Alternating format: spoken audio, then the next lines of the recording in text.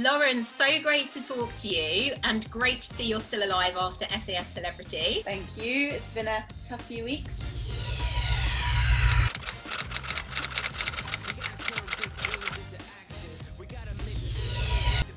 So let's just jump straight in. Tell me all about what, what was it like being on the show?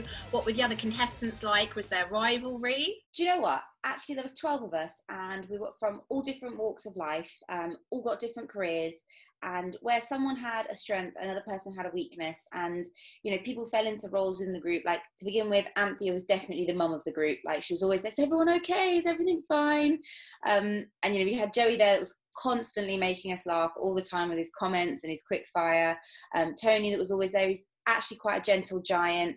Um, so you see him on screen being all aggressive and angry but actually behind scenes he's just like he's so soft. Um, it's quite contrasting but no made some really good friends and still talking to all of them on like whatsapp groups and stuff. So it was amazing. We all made it through you know it was a tough week of our lives but we're stronger for it.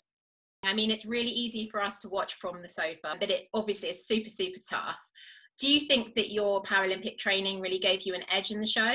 I think that as an athlete, you know you want to win medals for your country and in order to win those medals you've got to go to the deepest darkest places that none of your other opponents are going to go to so you do learn to be in the hurt locker you do learn to push your mental capabilities so it was quite easy to when i was freezing or when my legs hurt or when i thought i couldn't do it to dig into those kind of things that I'd learned to do as an athlete and say, actually, you know what, you've got this, you can do this, find a way, um, you know, and whatever it takes to get you through it. Um, so it definitely did help. And I think having that little bit of extra fitness also helped with the sort of being able to do it for day after day. Um, I think it, everyone could probably do it for a couple of days, but it's then how does your body recover and heal to go the next day?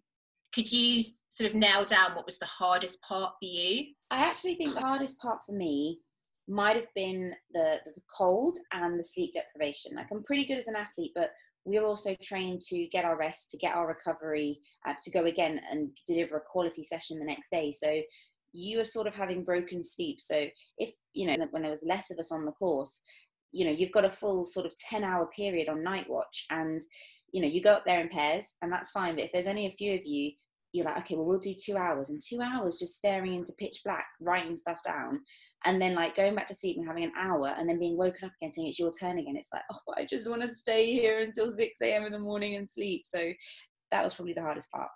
You know what? Like my three year old he's never slept well and he wakes me up all the time and i think that that's torture but that is just another level i think i'm trained for that sleep deprivation but an hour and then being woken up is just it's inhumane really isn't it yeah i think so and one time i can remember i'd got so cold that i actually woke up and I was curled around the log burner that we had in there. But all the other guys had woken up and they like I was just lying, I was like, Oh hi guys, they were like, Oh, we thought we'd leave you sleeping and I was just curled around the log burner.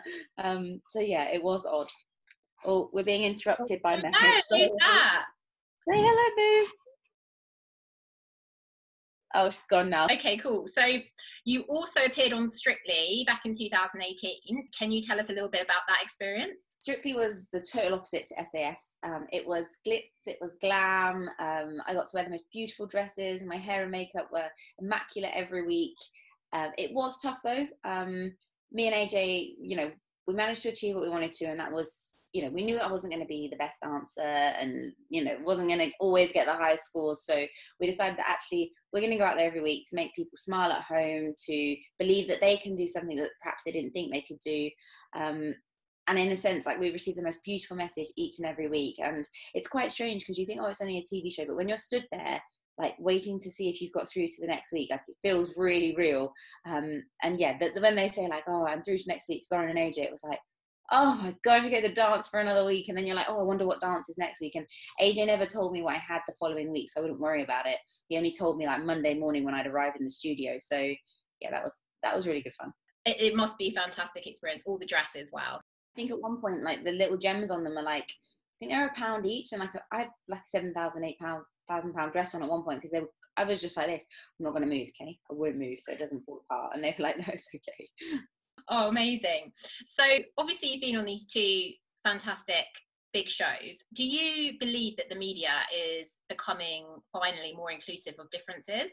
I definitely think that. Um, purely based, I think I saw it change around London 2012 with Channel 4.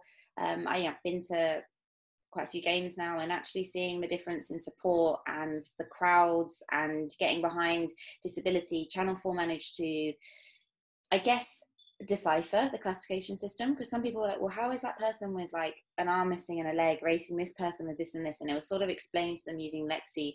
Um, and then I also think that since then we've seen more Paralympians appear on um, TV adverts, which has been great. Like Sainsbury's have done a fantastic job with that. Um, Vitality Health Insurance, I know they've got Ellie Simmonds on there at the moment. Obviously, having Jonnie Peacock, me on Strictly, and then I think it's just becoming a way not just for people that you know have a disability or you know a life living with a difference. It's just that actually everyone has something that hinders them like my dad's always got a sore knee because he bashed it years ago. So actually he can't run loads because it starts hurting and it's like, well, that's not a disability, but everyone has something that holds them back. So we're all the same in many ways. Um, but perhaps it just takes the odd few to inspire everyone else that they can do it absolutely like we are all linked in some way with with our own struggles and without even seeing that someone has a difference or struggle um, they probably do.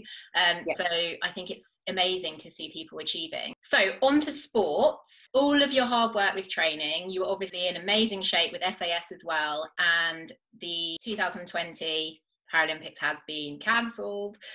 How did you deal with that? And how did you overcome that disappointment because it must have been really tough yeah i had mixed emotions purely because you know disappointment actually when you sort of get into the final few months training for you know four years into a, a Paralympics or Olympics, you kind of get into, I guess, heightened awareness. You you make sure everything is done down to the smallest thing. Um, the the energy's there, the excitement's there, the nerves are there as well. So you're dealing with all of that. But then as soon as training kind of got hindered where swimming pools were closing down, I actually normally live in Lanzarote and I got obviously Spain closed their borders. So it was sort of like, well, I'm not getting to train how I want to. And no athlete would want to go to a Paralympics or an Olympics and not be able to deliver records or world records or, you know, beat the previous four years. So in a way, there was then a sense of relief when they said, actually, we're going to move it to 2021. And it was like, I'm totally disappointed, but I was getting frustrated that I couldn't train the best. So probably more relief than disappointment. I didn't really think about that from your perspective. You want to give it everything, and I'd want to know that I stood there on the start line having done everything I can. Yeah. So before we finish our interview, I wanted to just do a quick fire round because I think it's a great way for viewers to get to know our interviewees, and it's a bit of fun. So let's go. Your number one role model? Dame Kelly Holmes because she's absolutely awesome. I met her when I was younger, and then since then I've sat on a sofa with her and told her that she's amazing and we're kind of friends now, so that's really cool. Achievement you're most proud of? Probably actually qualifying for my first Paralympics when I was 14 years old, didn't expect it, and remember just being shocked for the rest of the day. If you could lift lockdown right now, where would you go? I wouldn't go anywhere. I would just invite everybody around for a massive barbecue with drinks and play a game of Twister or card games or just have loads of fun. Love that answer. Glass half full or half empty? Uh, the glass is neither, it is refillable. Ooh, love it. Okay. First thing you'll do when lockdown is over? Probably go for a swim because I didn't think I'd ever say that, but I miss swimming and I'd like to just go for a little paddle. What do you consider is success in life? Doing what makes you happy and each day going to bed with a smile on your face, but waking up the next day excited for doing whatever you've got in front of you.